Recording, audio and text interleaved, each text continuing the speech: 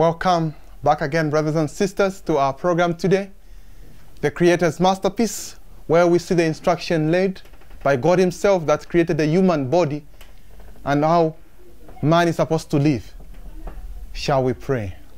Father in heaven, thank you so much for your grace. We pray for greater di- directions on how we need to live and that we may live and have the faith of the patriarchs and the faith imparted from you above. A channel of communication which is right. In Jesus' name we pray. Amen.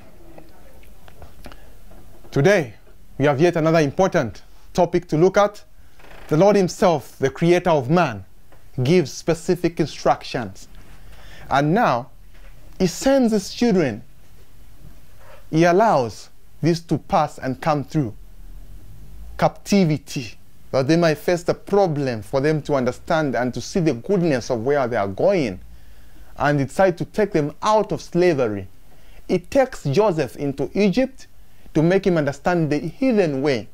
And they come in through Joseph and they learn the good things of the Lord, how God made Egypt to succeed because of Joseph that took in the right bread, which is the word of the Lord in Egypt, that they might learn and know. Now, Joseph lived in Egypt. He married an Egyptian woman. His children were born in Egypt. But one thing his father, Israel, taught him never did he let go. Like human beings, never are we to let go on that which God has said from the beginning.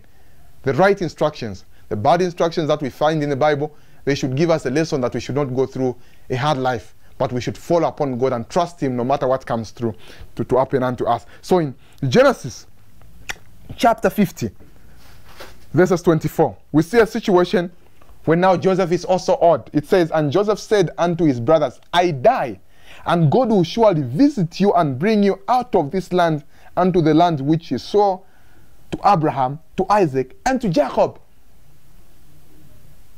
He tells them, My life is going down. Now I'm dying. But he tells them, The Lord will visit you. So this, this man, Joseph, had a vision. He knew, he believed in what God had spoken to them that Egypt, because it was a powerful nation, no matter how nice it may be, how good it may look, that was not the entire land. It wasn't theirs. But he believed in God that brought his father up, and he lived on the instruction that God gave through his father that Joseph may live it also. So he tells them, Do not be comfortable. God will visit you to take you out of this land because this is not our land. Joseph was a king, was given a ring and lived in a chariot of a pharaoh. No one can be given such such a position in a foreign land when you're a foreigner. But Joseph, because of, of God's intervention, who lived upon the word of God and he went to take the word of God, and Egypt at that particular time recognized God. Ladies and gentlemen, Egypt represents the world, and we are going out of Egypt, going to spiritual Canaan, which is heaven. And he knew and he told them in verses 24 that I'm dying. God will visit you to the promised land, he will take you. Then he tells them in 25, and Joseph took an oath of the children of Israel, saying, God will surely visit you, and they shall carry up my bones from hence.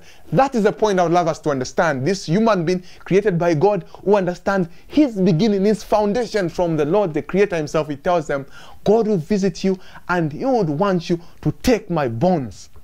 Do not leave my bones in this land because this is a foreign land.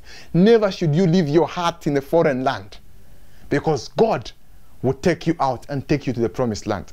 So he knew, though he's dying, time will come when God shall send a prophet and visit them. This was time before even Moses came. And now he's dead. Captivity for the Israel starts for the Israelites. That's what it meant. Because they cannot recognize Joseph anymore. And they embalmed his body and they covered him and they carried him. And this information we are given in the word of God when you go to Hebrews chapter 11, the book of faith, this is chapter 11, this is 22. It further says, By faith, Joseph, when he died, made mention of the departing of the children of Israel and gave commandments according his bonds. When they are about to depart, he made mention of his bonds and gave commandments according to how he want his bones to be taken out of that land because that was not his land it tells us no matter how much you are rich, how much wealth you have, if you hold on to the worldly pleasure, this is not your home, but He that created you has prepared a special place for you and me. All these things will perish. Everything that you have, all the TVs that we have, all the computers, all the monies, all the luxurious things that we treasure most, fire is coming one day to burn them when the Creator Himself comes. Don't be comfortable, but if you have to die today, let your heart be sealed that the Creator comes and takes it to the promised land. There is no time, brothers and sisters, and God has spoken. His word is true, and His word does not change. And when He has spoken, expect it to come true. Moses was born, he came, denied the Egyptian life, which was so good and overwhelming, prepared through Joseph, through the instruction of God. But he never lived up to it. Moses picked up the bones of Joseph and they left for the promised land. The Creator's masterpiece. God expects us to move according to how the Lord would want us to move. Even if you're old, you're leaving your children, leave their hearts sealed in the Lord. The greatest wealth you can never give to your children is not worldly pleasures. Bring them upon the word of God. Bring them upon the right direction, the right instruction. Follow Him and move strictly upon that which He has provided. When you live and do things rightly, I'm telling you, the Lord will see you through. The Lord will seal your family, even if you're gone or you're dead, when you depended on the worldly things, when you take them off and rely only upon the word of God. God will seal your family because they will know that you brought them unto the sight of God. The greatest riches you can never give your children. It's not the TV games, it's not the computers, it's not the education of this world, but it's the truth and the word of God is truth. When you leave us and give us this instruction today, then we can carry on like Joseph did and gave instruction and reminded them when the Lord visits you in this land, do not leave my bonds, carry them with you.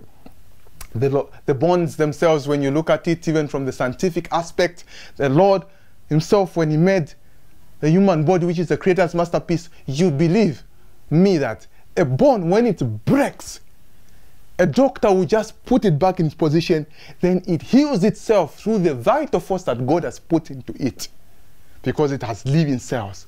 God touches it for it to be mended. It has three cells that will fix a bone osteoblast looks for the material to, to, to, to build the damaged part of the bone.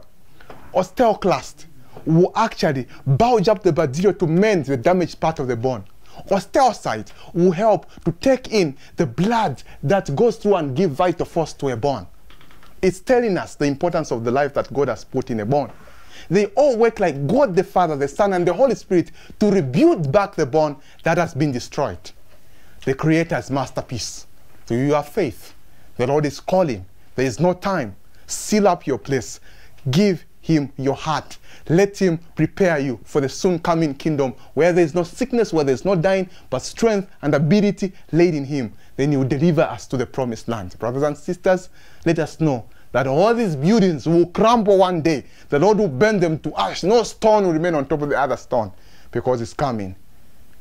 The Lord, He is the Creator and He will destroy to rebuild. Shall we pray? Thank you, Father, for your grace sufficient for man. Give us great instruction and love and mercies upon your will that never fails. Lead us in, way, in a way that is so great before thee. In Jesus' name we pray. Amen.